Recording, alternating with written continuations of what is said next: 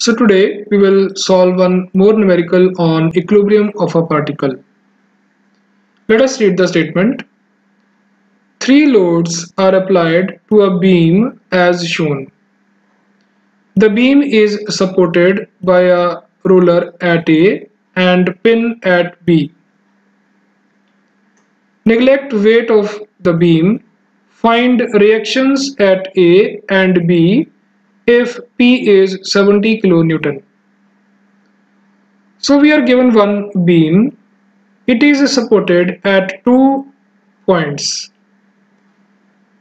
At point A we have a roller support and at point B we have a pin support or hinged support. And we are given the value of P as 70 kilonewton and we are asked to find the reactions at support A and at support B. And it is mentioned that we should neglect the weight of the beam. So we will not consider the weight of the beam during calculations. So the first step to solve this numerical is that we should first locate the reactions or the constraints provided by these two supports. Now we know this is a roller support. So it will provide only one type of constraint that is normal to the surface. And pin support provides two constraints, one normal to the surface and second along the surface. So let us label these two first. So we have labeled a normal constraint at end A and we have labeled it as reaction at A in y direction. Then at B we have to label two constraints one normal to the surface one along the surface. So we have labeled it as reaction at B in y direction reaction at B in x direction. Now one thing to understand over here that at the start we don't know the directions of these constraints or these reactions. We have just assumed that these two are acting in upward direction and this is acting towards left direction. Fine. So when we will get their answers, only then we will come to know whether the directions assumed by us are correct or not. Now we have made the free body but one thing is missing we have to label this P as well. That is equal to 70 kilonewton. Now free body is complete. So whenever you are solving such problems you should draw the free body first. That means whatever is given in the problem draw that first. Then after that label the reactions at the supports and the external forces now we know that this particular body is in equilibrium. That means we can apply three equations of equilibrium on this body. As body is not moving along x direction, then all the forces acting along x direction, their sum has to be zero. And we know body is also not moving in y direction, so all the forces acting along y direction, their sum must be equal to zero. As we know that this body is not rotating, that means the moments provided by all the forces about any particular point must be equal to 0. So let us apply the first equation that is summation fx is equal to 0.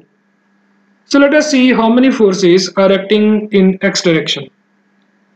There is only one force acting in x direction that is rbx.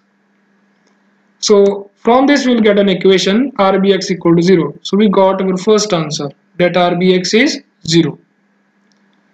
Now let us apply the second equation that sum of all the forces acting along y direction is 0. So how many forces are acting in y direction? 1, 2, 3, 4, 5. Now the forces which are acting in downward direction we will consider those forces negative and the forces acting in our direction will be considered as positive. So it means equation will become RAY minus 70 plus RBY minus 27 minus 27 equal to 0. So in this equation we have two unknowns. So we cannot solve this equation. So we'll call that equation as equation number 1. Now we will apply the third equation. That is, moment of all the forces about any particular point must be equal to 0. In the previous numerical, we have learned that we should consider that point as a moment center at which maximum forces are acting so that our equation should become simple. So let us take B as the moment center. So we are writing sum of all the moments because of all the forces about point B must be equal to 0. So let us see the moments generated by all these four forces about point B because moment because of these two forces about point B will be 0 because their perpendicular distance from moment center is 0. So we will ignore these two. Let us first start with this force RAY. Now in order to find the moment of RAY about B we have to first see its moment arm. So for moment arm what we will do? We will sketch its line of action. So this is the line of action and from moment center we will drop a perpendicular onto that line of action. So this moment arm is labeled over here as 1.8 plus 0.9. So it is 2.7 meters. Next we will see the nature of the moment generated by this force. So this vector will try to move towards the moment center. So in that process it will generate clockwise moment and we know clockwise moments are negative. So its moment will be minus RAY into 2.7. Now let us talk about the moment because of this 70 kilonewton force about point B. So first of all, let us find its moment arm. So for that, first of all, sketch its line of action. So this is the line of action of 70 kilonewton force. Now from moment center, drop a perpendicular onto that line of action. So this moment arm is labeled over here as 1.8. Next we will see its nature. So it will generate anti-clockwise moment. Anti-clockwise moments are positive.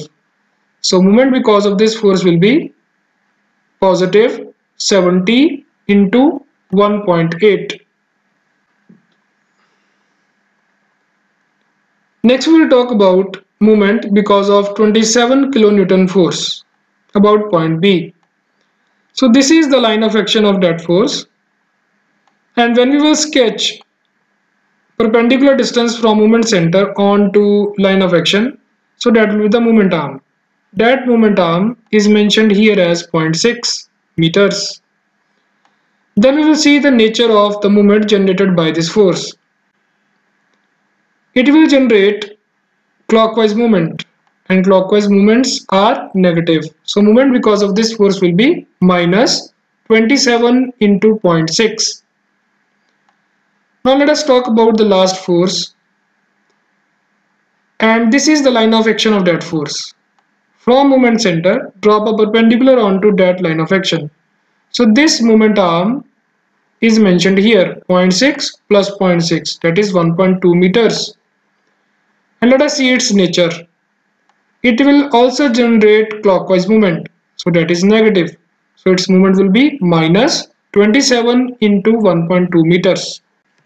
So let us see this in calculations. Now over here you can see minus RAY into 2.7 plus 70 into 1.8 minus 27 into 0.6 minus 27 into 1.2 is equal to 0. So in this equation we have only one unknown. So we can solve that unknown. Now you can see we got positive answer for that unknown. That means whatever direction we considered at the start of the numerical that direction is correct.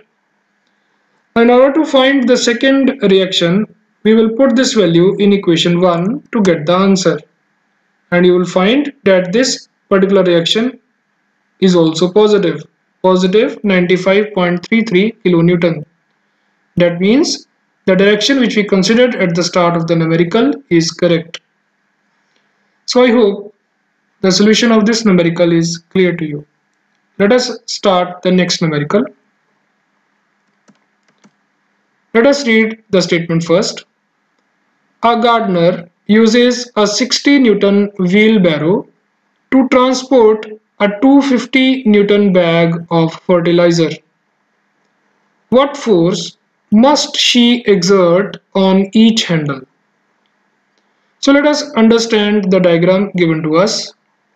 So there is a gardener and she is transporting a bag of 250 Newton through a wheelbarrow which is of 60 Newton and both the forces are also labeled in the diagram and their distances from point A are also given to us. Point A is the center of the wheel and point B are the handles from where the gardener is lifting this particular wheelbarrow. Now what we are asked? We are asked to find what force must she exert on each handle. Remember in this picture only one handle is visible to us but there are two handles. So whatever reaction we will consider at handle B that reaction will be for both the handles. Fine. But reaction at A will be only one reaction because only one wheel is given for the wheelbarrow. Now let us see how to solve this problem. So we know that in order to solve this problem, we have to sketch the free body. So how to sketch the free body? We will draw whatever given in the question. That means we will draw wheelbarrow. We will label all the important points. We will label all the external forces given and we will label all the dimensions given. There is no need to draw the gardener because this is not a drawing class. Fine. So there is no need of drawing of the gardener. We will only draw the body and we will represent the handles as point B. After that we will label the reactions. Now let us understand carefully what will be the reactions in the free body and how to label those reactions. So for that we have to identify supports in this particular body. Now we know the wheelbarrow is supported at two ends, end A and end B. End A is supported through a wheel. So this is a roller support. So it will provide only one constraint that is normal to the surface. End B has two supports means two reactions will act at end B. But in the free body we have to show only one. But that one reaction whatever magnitude we will calculate that is for both the handles. Fine? So at B we have to show reactions in upward direction. Why? Because gardener is providing support at handle B to the wheelbarrow by lifting it in upward direction so let us show those reactions now so at wheel, we have shown one reaction that is normal to the surface because it is a roller support. So we have labeled it as reaction at A in Y direction. Then we have labeled reaction at both the handles of the wheelbarrow as reaction at B in Y direction. Now, first of all, we have to say that I am considering RBY as force at or the reaction at both handles. Fine? This will keep in our mind. Because in question he is asking us what force must she exert on each handle. So when we will get the value of RBY we have to divide that value by 2 to answer the question because he is asking on each handle and this is for both handles. Okay. So in this case again we can say that uh, this body is in equilibrium. It is not moving in x direction. It is not moving in y direction. And it is not rotating as well. So three equations are applicable. Those are summation fx is equal to 0 summation fy equal to 0 and moment at any point because of all the forces must be equal to 0 so let us start with the first equation summation fy equal to 0 so how many forces are acting in y direction? There are four forces. Two are acting in downward direction and two are acting in upward direction. So these two will be taken as negative and these two will be taken as positive. So let us see this through calculations. So see over here RAY minus 60 minus 250 plus RBY equal to 0. So in this equation we have two unknowns so we cannot solve so we'll name this equation as equation number 1. Next we will use another equation that is moment because of all the forces about any particular point must be equal to 0. See we are not using summation fx is equal to 0 because in this free body there are no forces acting in x direction. Okay now we have four forces and all the forces are acting at different points. So we can consider movement at any particular point. So let us consider movement about point A. So when you will consider movement about point A, then movement because of this force will be 0 because it is directly acting at that point. So let us find the moments because of these three forces. Let us first talk about this particular force. So this is the line of action of the force and from moment center this will be the perpendicular distance. So this is the moment arm. So this is labeled over here as 0.15 and the nature of this movement will be clockwise. So movement because of this will be minus 60 into 0.15 similarly for this particular force we will draw its line of action and from moment center we will draw a perpendicular so that moment arm is labeled here as 0.15 plus 0.15 that is 0.3 meters. So it will also generate a clockwise moment so we have to take that negative. So moment because of this force will be minus 250 into 0.3. Then we are left with this force. Now this is the line of action of the force and from moment center when you will draw a perpendicular onto that line of action that will become moment arm. So that moment arm is the sum of these three distances that is 0 0.7, 0.15, 0.15. So that will be equal to 1 meter. And the nature of this particular force is anti-clockwise. Fine. So it will generate positive moment. So moment because of this will be positive RBY into 1 meter. So let us see the calculations you can see over here minus 60 into 0.15 minus 250 into 0.3 plus RBY into 1 is equal to 0. So in this equation we have only one variable or one unknown and we can find that unknown. So it is equal to 84 newtons. A very important point to understand 84 newton is the value of the reaction for both the handles but we have to answer at each handle so we'll divide this by 2 fine? So we'll get the answer as 42 newton as the force acting on each handle so i hope this numerical is clear to you. Let us solve one more numerical.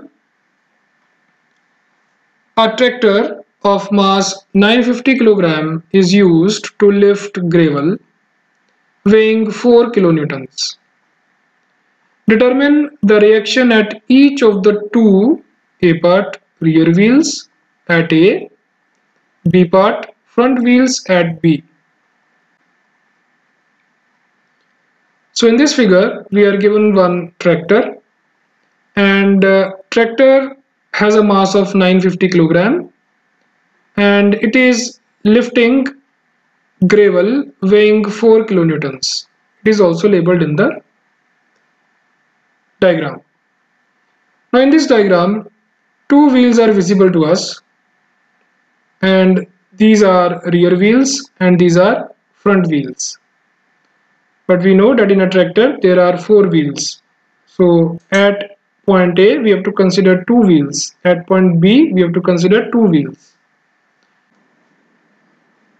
now we are asked to find reactions at rear wheels in A part and reactions at front wheels in B part. And we have to give the answer for each wheel. Fine? Now let us solve the problem. So in order to solve the problem we have to draw the free body. So we'll construct the free body means we will draw a block diagram for this tractor. We'll show two circles below that block diagram. And we'll label all the active and reactive forces on that free body. So let me show you here only. So we have two roller supports. And we know that roller support provides only one type of reaction that is normal to the surface. So let us first label reactive forces at support A and at support B. So these two will be in vertical direction. So let us label it as reaction at A in Y direction, reaction at B in Y direction. And initially we don't know their direction so we have assumed that these two are acting in upward direction. So after labeling the reactions we will label other external forces and other external forces are already labeled in the diagram.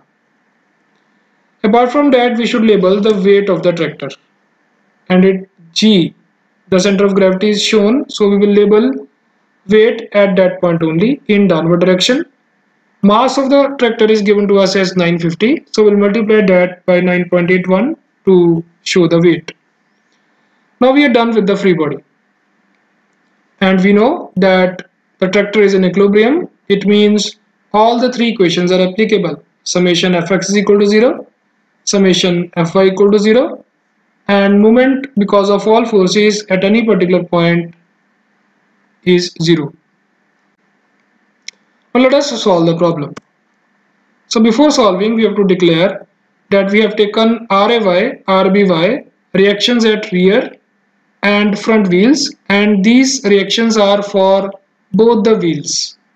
Means RAY is the reaction for both rear wheels and RBY is the reaction for both front wheels. Now we will apply the first equation that is summation fx is equal to 0. But in this free body, there is no horizontal force. So this equation is of no use for us. Now let us apply the second equation. That is, sum of all the vertical forces must be equal to 0. We have 4 vertical forces and uh, 2 are acting in upward direction. These will be taken as positive and 2 are acting in downward direction. So these will be negative. So you can see over here we have taken minus 915 to 9.81 plus RAY plus RBY minus 4 into 10 to the power 3. Why we have taken this? Because it was given in kilonewtons but weight is in newtons. So we have converted this into newtons as well. So in this equation we have two unknowns so we cannot solve this equation. So we'll call that equation as equation 1. Now we'll apply the third equation which is take moment because of all forces at any particular point. So let us take moment about A. As this reaction is directly acting at moment center, so perpendicular distance is 0, so there is no role of this reaction for the moment when we consider at point A. Now we are left with only three forces. So let us discuss one by one their moments. Let us start with the weight. Now this is the line of action of the weight and this is the moment center. So drop a perpendicular onto that line of action. So this is the moment arm. So this moment arm is given over here as 500. And the nature of moment generated by this force is a clockwise moment. So that will be negative. So its final moment will be minus 950 into 9.81 into 500. Look over here. Minus 950 into 9.81 into 500. Now let us talk about the moment generated by this reaction about A. Now this is the line of action of this reaction and this is the moment center. Drop a perpendicular onto line of action. So this is the moment arm. So this moment arm is the sum of 500 plus 1000. So 1500 millimeters is the moment arm. Now let us see the nature of the moment generated by this reaction. This reaction will generate anti-clockwise moment. So that will be a positive moment. So moment because of this will be plus RBY into 1500. Look over here. Plus RBY into 1500. Now we are left with last force. This is the line of action of that force and this is the moment center. So from moment center draw up a perpendicular onto that line of action. So this is the moment arm. So this is equal to sum of 1250, 1000 and 500 which is equal to 2750 mm. And the nature of this moment is clockwise and it will be taken as negative. So moment because of this will be minus 4000 because we are converting this into Newton into 2750. Look over here minus 4000 into 2750 equal to 0. Now in this equation we have only one unknown so we can solve that unknown. So when you will solve this equation you will get RBY as 10439.8 newtons and this is a positive value. That means the direction which we considered at the start of the numerical is correct. Now we will say put the value of RBY in equation 1 to get the value of RAY. So that will be equal to 2879.6 newtons. Now remember, the values which we calculated for the reactions at A and B are for both the wheels. But in the question, it is asked at each of the two wheels. It means we have to divide these two by 2. So look over here, we have divided RAY by 2 to get the value of reaction at each of the two rear wheels. Then we have divided RBY by 2 to get the value of reactions at each of the two front wheels. So I hope this numerical is clear to you. Thank you very much.